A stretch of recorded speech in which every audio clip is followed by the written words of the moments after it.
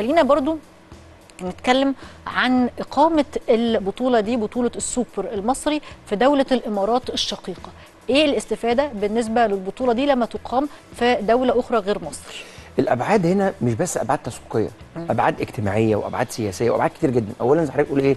دولة الإمارات العربية المتحدة من البعد السياسي هي دولة شقيقة.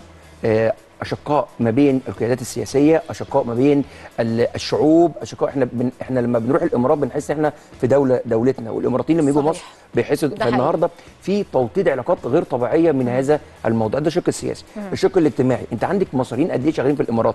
هل مش من حقهم إن هم أيضا إن هم يتفرجوا على هذه المباريات فهناك. بعد اجتماعي إن الراجل شغال قاعد في الإمارات إيه، من حق بيبقى الموضوع بيقوم ترفيهي بيستناه ممكن من سنة للسنه حقيقي. فبالتالي بيبقى له بعد اجتماعي كبير جدا البعد بقى التسويقي وبعد ال- الموضوع ده طبعا زي ما لسه كنت بتكلم مع حضرتك آه، الأهلي والزمالك زي ما قلت لحضرتك أندية كبيرة جدا وعندها آه، يعني يعني عن آه، م- انت مش بس انت مش بس البث التلفزيوني مش مش هيتذاع بس في الامارات هيتذاع في الامارات ومصر والسعودية كل الدول هيبقى كمية المشاهدة على هذه هذه المباراة هتبقى ضخمة جدا. طب لو الأهلي بس بيلاعب سيراميكا هيبقى نسبة المشاهدة عالية.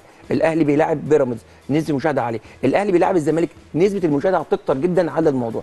فهنا هيبقى في عائد في البث التلفزيوني غير طبيعي في هذه الماتشات. بالإضافة إلى إيه؟ بيع تذاكر المباريات. بيع تذاكر المباريات النهارده لما يكون ماتش الأهلي والزمالك هتلاقي ال- الاستاد full لما يكون الأهلي بيلاعب أي فرقة هيكون الاستاد full ده بالعكس. صحيح. ده بالعكس. الأهلي والزمالك جماهير الأهلي هتاخد نص ال ال الاستاد والزمالك نص الاستاد. طب لما الزمالك يلعب لوحده هتلاقي الج- الجماهير كلها زمالك. اللي كان مش عارف يتفرج على الماتش هيروح يتفرج على الماتش. هيشوف الزمالك في ماتش سيراميكا أو ماتش بيراميدز. والعكس بالنادي الأهلي.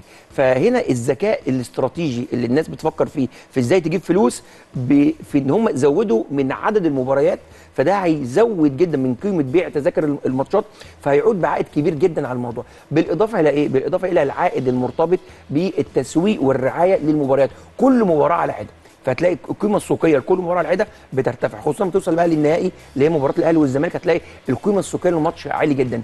يبقى اذا الراعي كسب الأندية كسبت الاتحاد كسب كل يعني كل المنظومة هتكسب. عشان كده إيه؟ هتتكرر مرة واثنين وثلاثة وأربعة وخمسة.